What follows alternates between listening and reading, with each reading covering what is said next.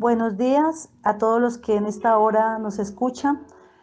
Eh, quiero enviar un abrazo fraternal de parte de nuestro Dios y de parte mía para que en esta mañana estemos eh, tocando el tema de Primera de Corintios 3:16 que dice, ustedes deberían saber que son el templo de Dios y el Espíritu de Dios vive en ustedes.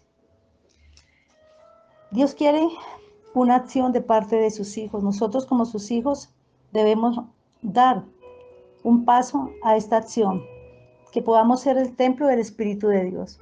Somos el templo de Dios y en nuestro cuerpo habita el Espíritu de Dios. Nuestro cuerpo representa un lugar para que alguien habite.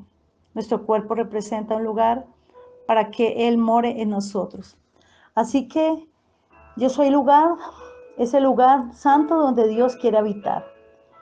Yo soy ese lugar de su presencia. Nosotros fuimos diseñados por Él y como tal ese lugar requiere de un cuidado muy especial y lo pide y nosotros somos los únicos que podemos tener ese cuidado especial para que Él habite en nosotros. Para que Él habite porque le pertenecemos a Él.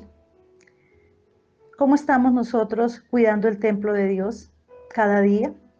Con lo que pensamos, con lo que hacemos, con lo que sentimos, con lo que vemos. No olvidemos en, ningún instante que somos el templo de Dios y Él quiere habitar en ese templo que fue diseñado por Él y para Él. Que Dios les bendiga grandemente. Padre, te quiero dar muchas gracias, Señor, por darnos la capacidad cada día de responder a tu llamado y responder como el templo que somos para ti, Señor. Te bendecimos, Dios de gloria. Ayúdanos para que siempre, Señor amado, podamos ser ese lugar donde tú habites cada día, a cada instante.